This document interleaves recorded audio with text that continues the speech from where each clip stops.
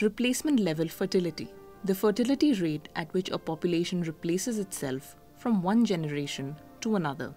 According to the United Nations Populations Fund, if a country's fertility rate is lower than 2.1, the current generation is not producing enough children to replace itself, leading to a decline in the population. The National Family Health Survey, NFHS, has reported that the total fertility rate, or TFR, has reduced from 2.2 to 2 over the last five years. A change in the TFR is determined by progress or deterioration in family planning, fertility, age of marriage, and education levels. A woman needs to have 2.1 children to keep the balance of births and deaths in a country. Some states in India still have a TFR above 2.1. Bihar with 3, Meghalaya with 2.9, Uttar Pradesh with 2.4, Jharkhand with 2.3, and Manipur with 2.2. West Bengal and Maharashtra have the lowest fertility rate in the country at 1.6. The burden of family planning in the country still remains with women though, as female sterilization has increased, along with the use of oral contraceptives. A communication strategy might be needed to reorient and divide the onus of family planning equally.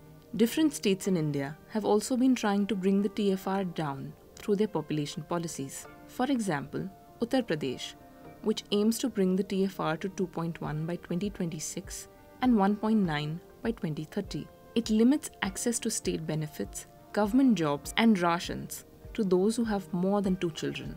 A TFR of 2 indicates that the population is stabilizing because there are two children to replace two parents. So the population growth rate in the long run will amount to zero. There is often a gap of few decades between achieving replacement level fertility and population stabilization, which is defined as a stage at which the size of the population remains unchanged. This is despite the fact that couples not only desire but also have fewer children than earlier. The overall population growth in numbers still appears high uh, because of the large young population in the country. Therefore, will take it'll take some time to stabilize uh, the population in India. India was expected to become the most populous country by 2028, but a reduction in the TFR means that this will be delayed by a few decades. A 2020 study by the University of Washington, uh, Seattle indicates that India is expected to reach its peak population of 1.6 billion by 2048.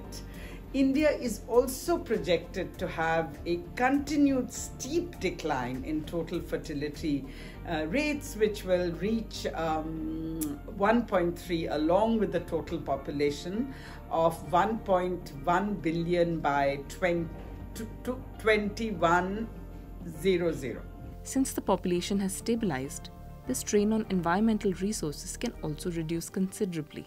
This also means that healthcare economic development and environmental protection will be less of a challenge in the long run if governments invest in public health and education right now.